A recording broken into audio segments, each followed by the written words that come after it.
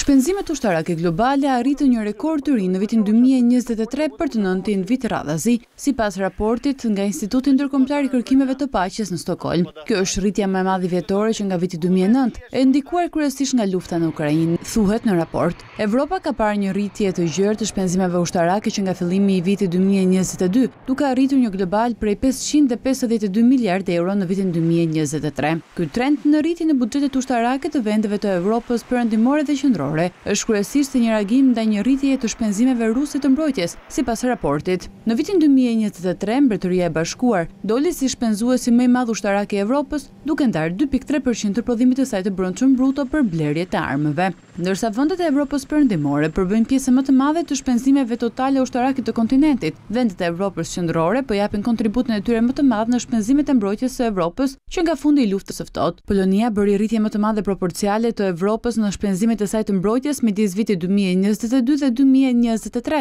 duke shpenzuar tre pikë tetë për qind të PPB-së së saj në mbrojtje në vitin dy mijë e njëzet e tre, ende larg objektivit të saj të deklaruar prej katër për qind.